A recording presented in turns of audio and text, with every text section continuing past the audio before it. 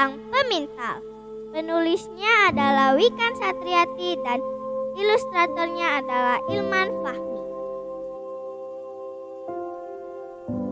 Ya baik, kami pergi dulu. Jangan lupa kunci pintu, jangan lupa kunci jendela.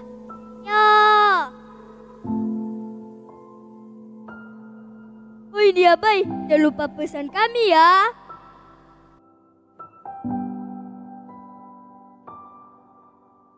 Ketika kedua kakaknya Bai pergi, tampak sosok raksasa sedang mengintai rumahnya Bai. Raksasa mendekati rumahnya Bai. Ia mencoba masuk, tetapi tidak muat. Raksasa melihat Niabai dan memikirkan cara lain untuk masuk. Tangan raksasa berhasil masuk lewat pintu yang tak terkunci. Niabai tidak menyadarinya. Niabai sangat terkejut ketika raksasa berhasil menangkapnya.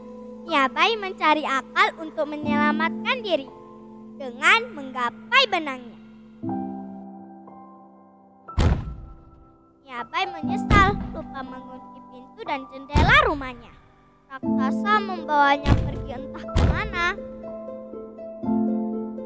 Ya baik, ya baik. Di mana dia? Sepertinya kita akan tahu dengan mengikuti benang ini. Dua kakaknya Bai pun pergi mengikuti benang itu.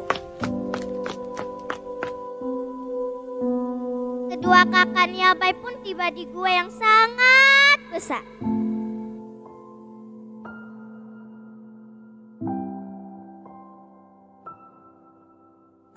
Tidak. Ya Bai dikurung. Bagaimana cara menyelamatkannya? Duh, raksasa terbangun. Mereka pun bersembunyi. Tuh ada kunci di pinggang raksasa. Mereka mengikat raksasa dengan benang.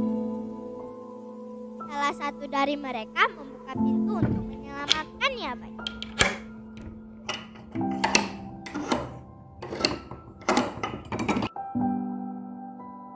Raksasa terbangun dan mencoba berdiri. Namun, dia terjatuh. Hore! Kita selamat berkat benang pintak kesayanganku.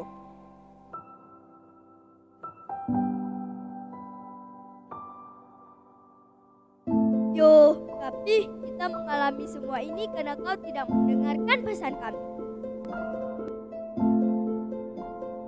Pesan moral